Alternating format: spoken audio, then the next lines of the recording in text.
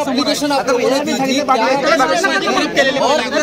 चारों ये चुप हो जाए क्या सड़क छाप जैसे व्यवहार कर रहे हैं एप्लीकेशन को मंडे के लिए पूरे मामले में सुनवाई होगी? शांति रखो रोलिंग रोलिंग चलो। बोलिए सर बोलिए बोलिए। बोलिए सर। चारों सबसे क्या बम ठीक है ठीक है। सबके प्रेम एक रिक्वेस्ट है सबसे पहले आप सभी से। एक एक करके क्वेश्चन पूछिए हर एक का हर एक सवाल का जवाब दूँगा। ठीक है चारों एप्लीकेशन के बारे में बता दीजिए कोर्ट ने क्या मंजूर किया क्या और क्या एप्लीकेशन था? हाँ। जी। सबसे पहली बात पुलिस ने कल जिस ग्राउंड पे उनकी रिमांड मांगी थी सेम ग्राउंड पे आज भी उन्होंने रिमांड मांगने की कोशिश की जिसको कोर्ट ने नकारा है और उसे पुलिस कस्टडी में नहीं भेज के जुडिशियल कस्टडी में भेजा है। हमने जो चार एप्लीकेशन किया है उसमें से एक एप्लीकेशन था होम फ़ूड के लिए और मेडिसिन के लिए जो अलाउ हो गई है as per jail manual second application हमारा था एडवोकेट और फैमिली को मिलने दिया जाए। वो भी हमारा अलाउ हो गया है as per jail manual third application था कि जो शीजान का अपियरेंस है इंक्लूडिंग हिज हेयर वो डिस्टर्ब ना हो करके उसका हेयर प्रिजर्व करने के लिए जेलर को डायरेक्शन दिया जाए जिसपे इंट्रीम में हमें रिलीफ सेकेंड जनवरी 2023 तक मिल गई है। पीपी ने थ्रू कंप्लेनेंट के वकील ऑब्जेक्शन लिया है, जिस वजह से जेलर का से मंगाया गया है। और थर्ड हमने फोर्थ हमने एप्लीकेशन की थी काउंसलिंग के लिए और सिक्योरिटी के लिए। क्योंकि जीशान इनोसेंट है, मेरा स्टैंड डे वन से था, वो बेगुनाह है। और आज मैं आपको बोलता हूँ कि इसके अंदर क्या है सीक्रेट गर्लफ्रेंड थी या सीक्रेट बॉयफ्रेंड थी?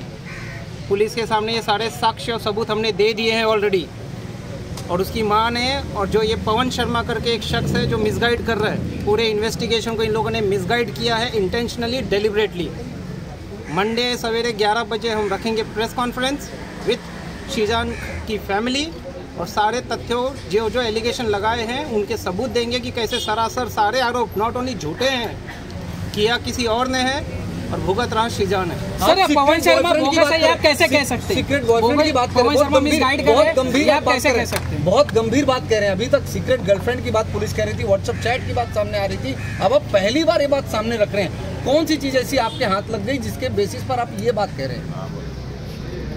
मंडे सवेरे 11 बजे का इंतज़ार करिए। मैंने चार दिन पहले ये स्टेटमेंट दिया आज नहीं दिया है मैंने। चार दिन पहले Bombay Times Times of India ने मुझे कवर किया है जहाँ पे मैंने ऑफिशियल स्टेटमेंट दिया। I have an evidence to prove that she has moved on sir आपने कहा पवन शर्मा मिसगाइड कर रहे हैं लेकिन वो तो उनके मामा है और किस तरीके से मिसगाइड कर रहे हैं? पवन शर्मा का और उनकी फैमिली का किसी तरह का कोई आपस में रिलेशन नहीं है। पवन शर्मा इनके कौन थे क्या थे? मंडे का इंतज़ार करिए। मंडे सवेरे 11 बजे हम सब पक्ष रखेंगे आप सर बेल एप्लीकेशन कब तक फ़ाइल करेंगे? सर्टिफाइड कॉपी के लिए हमने रिक्वेस्ट किया है। अगर आज मिल गया तो आज नहीं तो मंडे सवेरे 11 बजे हम फ़ाइल कर देंगे। थाने सेशन कोर्ट में फ़ाइल किया जाएगा? जी नहीं बिल्कुल नहीं। यहीं पे वसई सेशंस कोर्ट में फ़ाइल किया जाएगा। अच्छा ये सीक्रेट बॉयफ्रेंड की जो बात आप बता रहे हैं ये किसके? तुनिशा के या किसी अन्य के? क्योंकि ये बहुत सेंसिटिव केस है। खुलकर आप मंडे आप मंडे 11 बजे का वेट करिए। मुझे उनके फैमिली को साथ में लेके आप सबके सामने आना है क्योंकि जितने आरोप उनके उनके फैमिली पे लगे हैं सारे के सारे आरोप नॉट ओनली झूठे हैं बेबुनियाद हैं। सर उनकी कहाँ होगी पुलिस प्रेस की- कॉन्फ्रेंस? पुलिस की जाँच को किस तरह से देखते हैं इतने दिनों तक जाँच हुई तीन दिन उनको पुलिस कस्टडी में मिली उनकी जाँच को किस तरह से देखते हैं? पुलिस ने सिर्फ़ और सिर्फ़ मीडिया ट्रायल के प्रेशर में आके शीजान खान मोहम्मद को अरेस्ट किया है।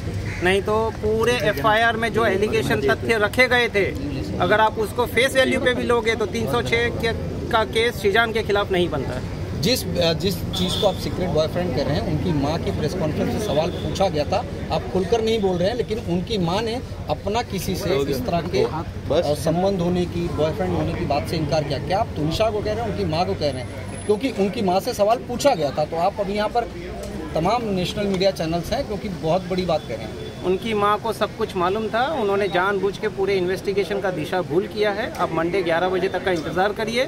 चाहिए तो आप पुलिस से पूछ सकते हैं। उनके पास हमने सारे सबूत दे दिए। आपका कहना है जो बात आरोप सीजान पे लग रहे गलत है जो बात है इस पर इस पर वीडियो आए थे वो वीडियोस कहाँ के थे? दरगाह फरा जो उनकी सिस्टर थी वो लेकर जाती थी। इस तरह की बात परिवार की तरफ़ से कहे गए थप्पड़ मारे थे सीजान ने ये कहा गया।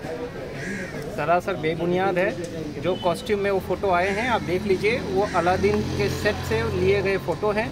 एपिसोड का मंडे को आपको नंबर भी दे दूँगा जिसमें वो कॉस्ट्यूम यूज़ किया हुआ है जिसमें वो लड़की के फादर बीमार रहते हैं और वो एक शॉट लिया गया है।